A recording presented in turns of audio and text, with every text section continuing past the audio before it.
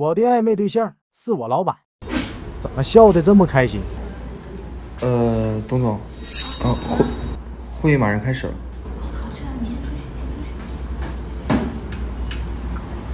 这是给谁打电话呢？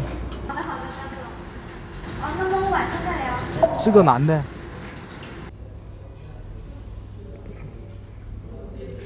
小峰，你怎么还在这儿？我还想问你呢，现在几点了？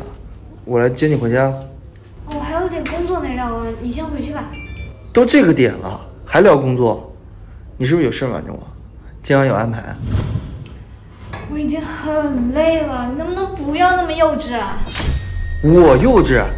我是个男人，你让我回来，现在什么都不告诉我，你把我当什么了？你是不是误会什么了？真的希望你我真的是在聊工作，真是，不要生气好不好？没叫醒，怎么说？对不起，董总，我真我气的是我自己。爱你，句句不清。